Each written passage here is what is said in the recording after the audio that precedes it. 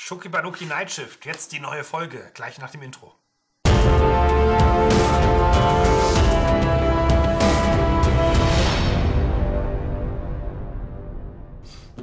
Servus, Grüezi und Hallo zu einer weiteren Folge Schuki Banuki Night Shift. Heute sind wir zu dritt hier im Studio. Das ist einmal der Christian,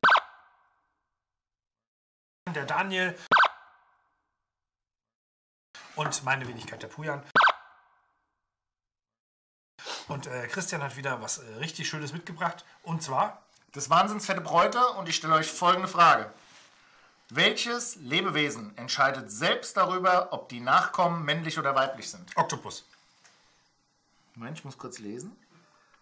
Nein, Die Drecksau. die entscheidet auch einige Sachen, aber nicht das äh, Geschlecht ihrer. Aber es ist unter Wasser. Es ist ein Am Am Am eine Amphibie. Krokodil. äh, nein.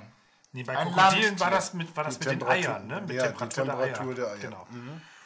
Temperatur meiner Eier ist im Moment so. Wer beißt denn den Babys den Schniepel ab, damit es Mädchen werden? Und zwar aus, dem, aus der Tierwelt, jetzt bevor du eine falsche Antwort gibst und sie jemanden diskreditierst. Ja, nicht, dass da irgendwie falsche Sachen aufkommen. Also, Land. Aus dem Land. Land. Ich, ge ich Sind gebe das- euch mal ist das ein Hinweis. Insekt? Es ist ein Hinweis. Der Hinweis. Solenopsis invicta macht das. ah, ja. Gut, nee, das war's. Damit haben wir die Ja. äh, Runde be Ich sag's euch nochmal, vielleicht äh, wird es dann klarer. Solenopsis insistas. Ist das irgendwie so ein scheiß Zauberspruch von Harry Potter? Oder Ja, was? ich glaube auch, ja. Solenopsis invictia. Ich bin kein Lateiner. Invictia. Infekt, ja. Ja. Das ist eine Stechmücke. Die Nee. Mücke.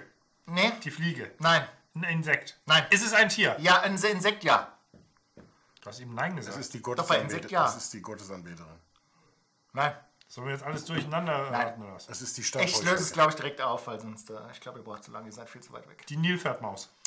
Die Königin der Feuerameisen nennt sich Solenopsis invictia oder invicta, wie auch immer, ja. Also gut, dass es mehrmals Und die hat. beim Eierlegen äh, entscheidet. Ob die Schuhe anbleiben oder nicht. Genau. Dann lässt sie die Socken an.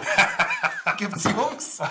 Socken aus, Mädchen. Nein, es geht äh, beim Befruchten, können die das entscheiden. Die entscheiden das tatsächlich selber, ob es Männchen oder Weibchen wird. Woher weiß man das? Hat man schon mal mit so einer gesprochen? Mit so Man, einer hat- man hat äh, mit? Betroffenen gesprochen, Ja. in diesem Fall. Ja. Und äh, es gibt auch ähm, einen Arbeitskreis. Ja, Also die das haben auch eine Selbsthilfegruppe gegründet. Genau, die anonymen, gestartet, die anonymen und so? Feuerameisen. Und äh, in dem Gesprächskreis kam das raus.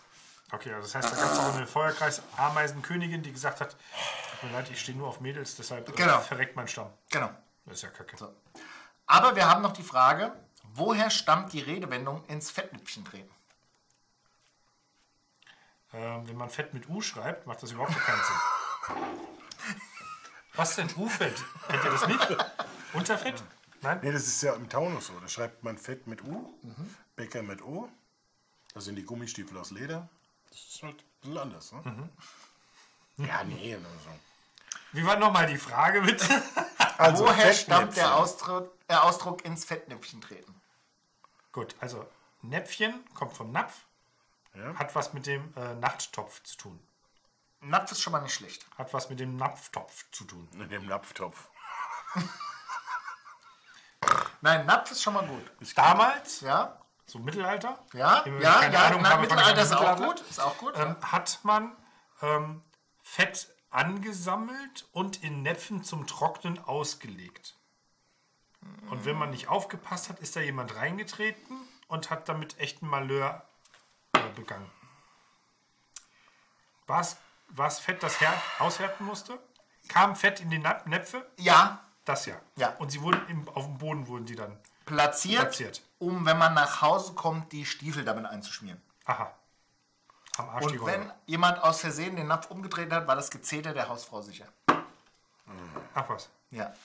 Und die, Also war, total naheliegend und eigentlich. die waren nicht schlau genug, das Ding einfach mal irgendwo hochzustellen. Richtig, es hat äh, ungefähr 250 Jahre gedauert, bis irgendeine Bauersfrau auf die Idee kam, hier, man könnte den Napf doch einfach mal vom Boden auf den Tisch stellen. Bis jemand das Hochstellen erfunden Genau, hat. das Hochstellen wurde erst äh, 250. 1516 erfunden. Ja. Vorher hat sich alles auf dem das Boden hat sich Genau, die haben alles auf dem Boden. Ja. Da kam Idee, bis irgendeiner sagt, hier, ich mache was Neues, ich finde das Hochstellen. Ja. Und das war um 1560 und kurz nach dem Reinheitsgebot. Das weißt du. Wenn du sonst nichts weißt. Ich weiß sonst nichts, aber Reinheitsgebot kenne ich. Reinheitsgebot kenn Ah, sag mal laut. ich. Ja, Kurz vor der Prohibition. genau. Du sollst nicht meine Karten gucken. Ich wollte nur. Ja. Okay, gut. Das war's wieder. Shoki Banuki Night Shift. Ich hoffe, es hat euch Spaß gemacht. Mir jedenfalls nicht. Daniel, wie fandst du's? Ich fand so semi, ja. Das war. Ja, gut. Wir haben dir von vornherein gesagt, der Christian ist dabei. Was hast du erwartet? Ich fand es auch eher so mittel wie Kunstrasen, weil ihr beiden dabei wart. Mare Dude, schwenkt so gut. Viel Spaß. Tschö. Ciao.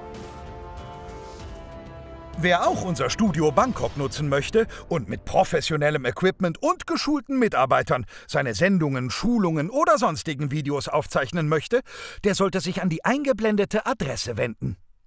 Wenn ihr unseren Kanal abonniert, würden wir uns freuen. Und aktiviert auch die Glocke dabei, damit ihr benachrichtigt werdet und keine Folge mehr verpasst.